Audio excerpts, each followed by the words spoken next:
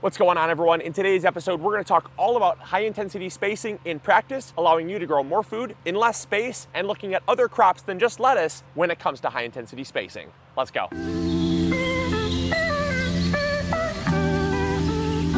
So when it comes to high intensity spacing, a lot of you have learned about it through our lettuce planting videos. We talk about how we plant very densely and we don't grow for nice perfect heads, but we grow for leaves. Because when we do that, you're actually seeing this in practice here, how there's really no crowding. Now it might seem crowded, but the plants themselves are not crowding. There's nothing that's really overlapping. And in fact, when they touch, they kind of just meet and push up in the middle, allowing for nice neat rows in between. But those nice neat rows are mulched, not mulched with things like wood chips like on our walkways, but mulched with foliage. And that does a few things. The first thing is it actually helps to hold moisture in the soil. Sunlight and wind help with evaporation. And the more your soil evaporates, the drier it gets and the more you have to water. So this will actually cut down on watering by up to 75% in our experience, but it also keeps the soil cooler, which is great. For things like lettuce, they don't like that hot sun. They don't like when the soil gets nice and warm. That sends them to seed. It makes them bolt. And so having them covered actually will help to keep the soil cooler up to 15 degrees in peak sun. So if it's 75 out, it's only like 60 degrees. And that's at soil level. That's awesome. So that's another benefit too, is it allows your plants to stay a little bit less stressed. And then the final thing is, I think one of the biggest benefits, that's less weeds. Come here, check it out. So if you come in here, check this out. So these, I'm gonna peel these leaves back here. And what you'll notice is there are no weeds. And that's the great thing is the fact that these, these rows here do have soil they're bare soil.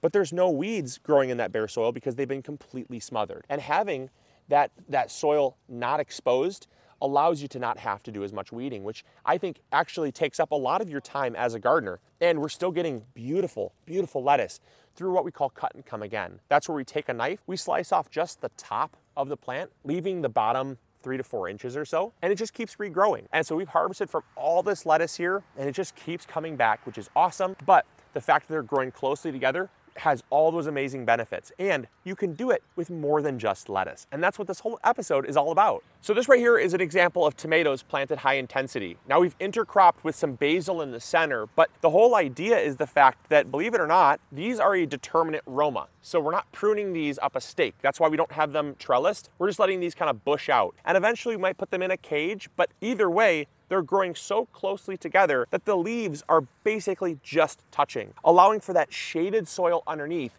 which helps to suppress weeds, hold on to moisture, and keep the soil cooler, which when it comes to tomatoes, they actually like that. Tomatoes, believe it or not, will fruit better in a range of about 70 to 75 degrees and not so much in 85 to 90 degrees. So during midsummer, when all your tomatoes are ripening, you could actually have future fruit production if you kept your plants healthy. Oftentimes they'll just drop the blossoms and it also can contribute to something like blossom end rot, which is usually contributed to a lack of calcium, but often it's not the lack of calcium that causes it, it's the lack of water because calcium can only be uptake through water. So if your soil goes dry, you're not gonna get the calcium. So having the soil protected with all this foliage is gonna help keep it cooler, which equals more flowers, and the flowers will stay on the plant and not be dropped through blossom end rot through more soil moisture. It goes hand in hand. But check it out. This is another example that most people wouldn't consider tomatoes a crop that they would plant high intensity. Most people would only get about two plants in this same space, one here and one here, and there'd be a bunch of open space in the middle. But because we crowded them a little bit closer together, we've got this third plant here, allowing for three plants in the same space. So that was tomatoes, but check it out. This is one of my favorite ones. This is a great intercropping that has we actually talked about this in our intercropping video. It actually has a rhubarb plant in the center. Beautiful, huge rhubarb plant. But on the sides, it's got peppers. Now these peppers here are gonna get nice and large. So they're not fully grown yet, allowing for some open space. But what you'll see is in the open space, we got some weeds I gotta pull out. That's why we want to have this soil covered as much as possible. But check it out, look at these beets. These beets right here are doing the exact same thing. This rhubarb is growing out it's shading all the soil around, not allowing for weeds to grow, protecting the soil. But then these beets are multi-sown. Three beet plants per space there. And those three plants are going to are going to grow out and all that foliage is touching just like our lettuce did protecting the soil and allowing us to have huge production in a small space so yeah definitely open space not great we planted some radishes in this open space here and we since have harvested from them because those are just a really quick turnaround crop. But in the meantime, we have that open soil and you can see shaded soil great, open soil not great. Nothing's growing there, but also things like weeds and the sun and the wind can take advantage of that open space. And this, this is probably one of my all-time favorite beds, at least this year. This is our cabbage bed. Now our cabbage bed, we talked about how we are going to be growing about twice as much cabbage in the same amount of space through high intensity spacing. What you'll notice is that you can't even see soil. There is no space in this whole bed where you can see any soil. I'm geeked about it. I am absolutely pumped about it. If there is anything that gets me super excited, it is just a bed that is chock full of plants. And this bed right here has 12 cabbage plants, 12 cabbage plants in the same amount of space as you typically would have six. And what you'll notice here is that, check this out. If you come in close, this is such an amazing example of what I'm talking about. You have a head here and you have a head here. But what is happening in the middle? Look at this. See these leaves? It's like two hands. It's like a, like a kind of a clamshell. Look at that. You open it up, bare soil. Can you see that? Look at that bare soil right there. Bare soil. But those leaves, they're not crowding each other, right? They're not growing up and smashing on top of each other. They're growing together, right? They're growing, smashing in, but then growing up, allowing for us to space our plants closer together and getting way more yield. Like I said, most people would put about two cabbage in this area right here, but we have four. And that is awesome because not only is that more production, but it also allows us to cover the soil better. So I am pumped about this. This is easily one of my favorites. And another thing you'll notice from this, great takeaway, very little pest pressure. There's a few bug holes here, there's a couple over here, but what you'll notice, very little, if any, insect pressure. And that's because the plants are healthy. How can you tell they're healthy?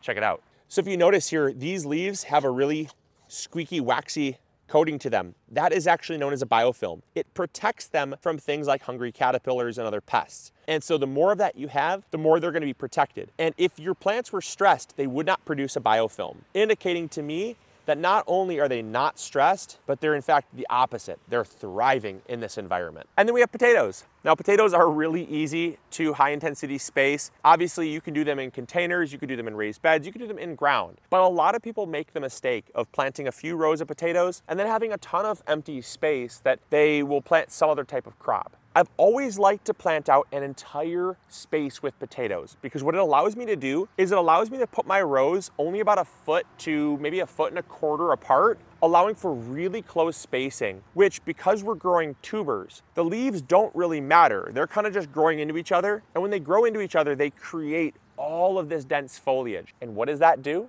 Well, if you've ever hilled your potatoes, you're hilling your potatoes not for more fruit production or tuber development. You're, you're hilling your potatoes to protect your potatoes from sunlight. So the great thing is the fact that high intensity spacing creates that shade, which suppresses weeds, helps hold moisture in the soil, helps keep it cooler, but it's the same exact shade that's going to help to actually keep your potatoes from turning green. And that is awesome. That's why when you have a nice full bed of potatoes like this, you're gonna have some benefit from high intensity spacing. Not only are you gonna get more production, but you're also going to have a better yield and a better quality yield at that. So really happy with these. And over here, here's another example of some brassicas being planted in close proximity. We have our kale here, three kale plants. Then we have our broccoli. We have an early broccoli, and then we have a later calabrese broccoli. This is a Waltham broccoli. And then this is the Calabrese broccoli, which is a little bit later. So they're not, they're just starting to put heads on. They look awesome. And then over here we have our kohlrabi. And what you'll notice is that they're all brassicas, but because the leaves are kind of all same leaf type, kale and broccoli all look very similar. Even the, even the kohlrabi has very similar leaves. It's not like cabbage that would kind of interfere and have some problems. We're growing them closely together and what's happening is those leaves smashing and growing straight up to the sky, allowing for us to grow so much more food in such a small space, which I love. Last but not least, here's another final example here of some high intensity spacing. We've got here a row of some cucumbers. These cucumbers are eventually gonna grow up a trellis, which we're gonna make. But then in between, we have all these onions. Now we only space out our onions about four inches apart. And that allows for us to grow tons of onions in the same amount of space that you typically would have. In this space here, we have about 100 onions. You typically would only plant about 30 to 40 onions given similar spacing. All right, now that you've seen all those amazing examples, I wanna go through a couple rules that are gonna give you success because a lot of people just assume if you take plants and throw them closer together, you'll be fine. You couldn't be further from the truth. It's not gonna be fine because you're gonna have things like competition for sunlight, competition for soil space, competition for nutrients. And so what you need to do is you need to follow these rules. They're really simple. First thing, nutrients. You wanna make sure that you're adding excess nutrients to make sure that if you're growing more food in less space, you're accounting for that. So if we would fertilize, let's say a quarter cup, well, we're growing twice as many plants, so now we're gonna use a half cup. We're actually upping the amount of fertilizer to account for those extra plants. We also amend the soil every single year with fresh compost, rock dust, worm castings, make sure to really get that life and the flora, fauna, the nutrients, the fertility, all that just boosted to maximum levels because that way we can grow more food in less space without the competition. Second thing is make sure you're planting stuff that is going to grow well together like we talked about. These different examples, they all go very well together because they kind of coexist peacefully. If you don't know what I'm talking talking about, we just did a video on intercropping and why we intercrop and how to intercrop for success. And in that video, we talked about not planting tall plants next to small plants or big leafed plants next to small plants. Things that don't really grow well together, that aren't great planted next to each other, shouldn't be planted next to each other with high intensity spacing because you're gonna end up with problems and you're gonna end up with overcrowding. And then the third and final rule is make sure you weed prior to the plants growing. You see in all these examples that I've shown, all of them, we had to weed in the beginning because what that allows you to do is it allows you to reduce that weed pressure where they would, the weeds would be competing for soil space, the weeds would be competing for sunlight and things like that. If you weed temporarily until your plants have grown up and have kind of just started touching, then that is when you can really take your hands off. We wrote about this in our book, The Autopilot Garden. As soon as your leaves are touching, that's where things go autopilot. And that's where the work basically stops and the enjoyment begins. Because once our leaves are touching and the soil has been mulched with the foliage, you're all good. So those are three simple rules and some great examples on how to high intensity space. I hope you guys enjoyed. I hope you all learned something new. If you did, make sure to hit the like button, subscribe if you haven't already. And as always, this is Luke from the MI Gardener channel, reminding you to grow bigger. Take care. Bye. Hey, thank you so much for watching today's video. I really appreciate it.